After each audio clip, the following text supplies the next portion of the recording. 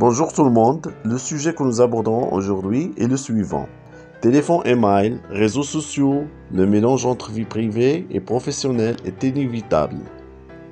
Alors dans ce travail, nous tâcherons de rédiger un texte argumentatif dans lequel nous approuverons ou nous désapprouverons l'avis du rédacteur en chef. Alors tout de suite, on commence par l'introduction. Comme nous avons dit la dernière fois, notre introduction s'organisera autour de trois éléments principaux, à savoir le sujet amené, puis la thèse ou la problématique, et enfin l'annonce du plan.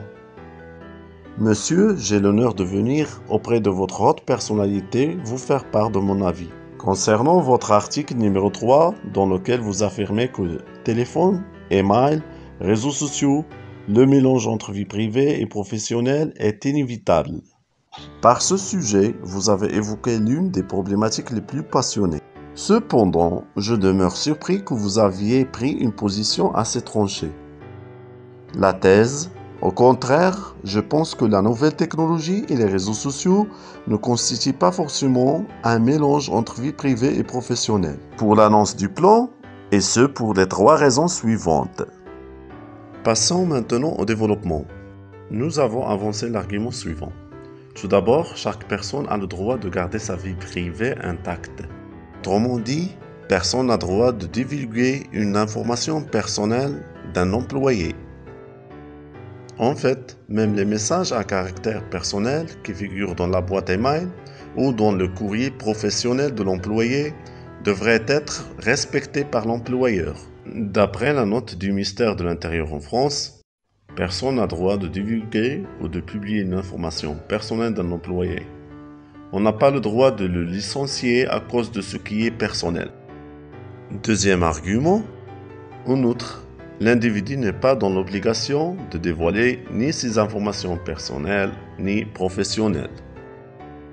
En d'autres termes, il pourrait garder l'anonymat, sélectionner le public qui l'intéresse, créer des comptes professionnels et personnels séparés elle a même le droit de fermer ses comptes sur les réseaux sociaux quand il veut, utiliser un profil personnel et un autre professionnel.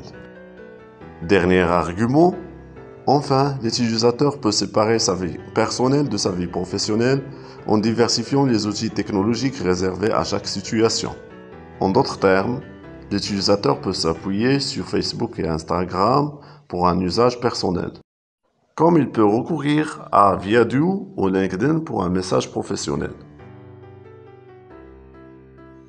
Il peut aussi diversifier les comptes email et les opérateurs téléphoniques selon son besoin. D'après une recherche menée par le service Facebook, 70% des utilisateurs utilisent cette plateforme à raison personnelle.